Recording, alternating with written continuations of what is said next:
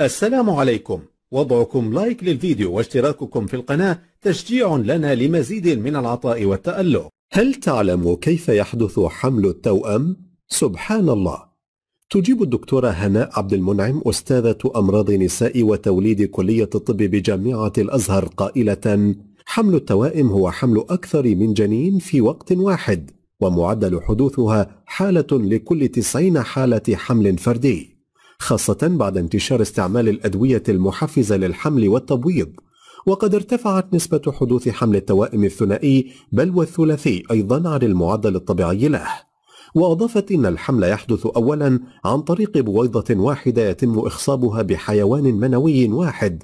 ولكن هذه البويضة تنقسم إلى عدة أجنة وهذا النوع يعطي توائم متشابهة. ثانيا أن توجد أكثر من بويضة اثنتين أو ثلاثة ويتم إخصاب كل واحدة منهن بحيوان منوي واحد لكل بويضة وهذا يعطي التوائم غير المتشابهة.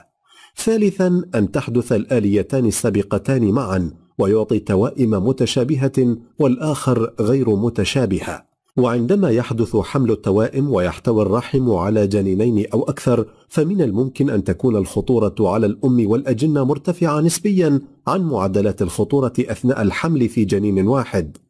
أشارت الدكتورة هناء إلى أن التشخيص المبكر لهذا الحمل وما يتبعه من متابعة مركزة للحمل حتى نهايته بغرض الاكتشاف المبكر لأي ظرف طارئ والتعامل معه بكل سرعة وحسم يجعل هذا الحمل يتم في أمان دون حدوث مضاعفات خطيرة.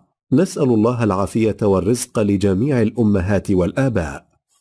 شكرا على المتابعة. لا تنسوا دعم المقطع بلايك والسلام عليكم.